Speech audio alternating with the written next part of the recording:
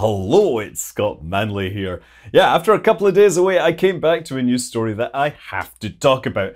Uh, basically, uh, in eastern California, in Nevada County, there's a story that somebody's house burned down and uh, one of his dogs unfortunately died, and they're blaming the fire on a meteorite. And before we get too far, I'm going to say this is almost certainly not what happened.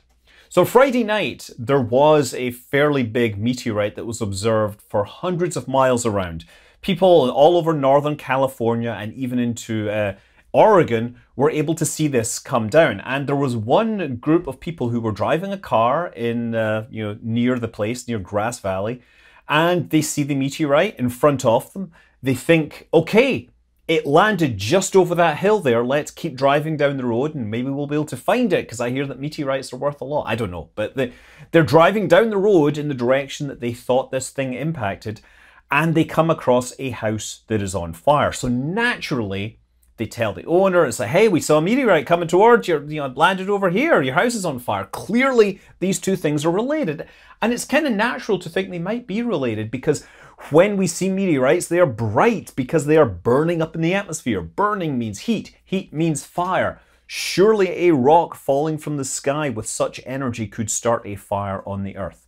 Um, well, that's almost certainly not what happened in this case because, as I said, it was observed by people through Northern California and into Oregon. And there's a website run by the International Meteor Organization. And what one of the things they do is they compile all the observations, the images, the videos, and they use this to triangulate the trajectory of the meteorite. And this object did not come down over Nevada County. It ended up 170 miles away. In fact, it entered the atmosphere about 70 kilometers up over uh, Weed, California, headed sort of westwards and probably landed just south of Etna, not too far away from, from that. But yeah, 170 mile difference. There is no way this thing that was observed is anything to do with this uh, fire that far away. Now, I, I think it's highly unlikely that a rock falling from the sky could actually cause a fire in a house, at least something that small, because when meteorites hit the atmosphere, most of the energy happens like uh, 70 to 100 kilometers up.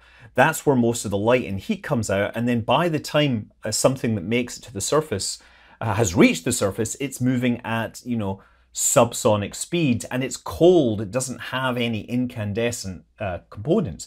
Now, if it was much larger, then yes, at a certain size, you end up with fragments that are large enough that they can make it all the way through and potentially could make a hole in, or could, you know, not just make a hole in the ground, but also start a fire. So there would be an explosion and then potentially collateral fire, like a wildfire. Um, so the thing about meteorites is that because they burn up at such high altitudes, people on the ground have a really hard time figuring out just how far away they are. They'll see it come down, it'll maybe, maybe if they see it come down, it'll be like on the other side of some hills. And so it's natural to assume that it must have just landed on the other side of that hill, one valley over. But they're like seven, eight hundred kilometers up. These things can be seen for hundreds of miles around. And it's very unlikely if you see a meteorite coming down that it actually landed near you. Like, it's great if it did, but generally it doesn't. If you see a meteorite coming straight towards you, that's when there's a good chance that uh, you actually may find a piece of rock nearby. So, you know, meteorites have been known to come down and hit people and houses and personal property and cause damage. There's been a few cases. The most famous example, I think, is the Peekskill meteorite in like New York. And it was seen by observers on the ground. It was tracked. It was kind of going very slowly. And uh, it ended up falling down, hitting the ground or hitting the surface at about 200 miles an hour. And it knocked a big hole in somebody's car. Nice big red car. The rear end was you know, damaged terribly. It missed the fuel tank, so it didn't start a fire. Um, and yeah, the owner had bought the car for $300. They apparently sold the meteorite for $50,000 and sold the car to a collector who wanted a meteorite damaged car for $25,000. That is, uh, you know, not bad, I guess, right? Sometimes money really does fall from the sky. Uh, last year, there was a woman who was sleeping in her bed and a meteorite, again, fell from the sky, smashed through her roof, and ended up in her bed.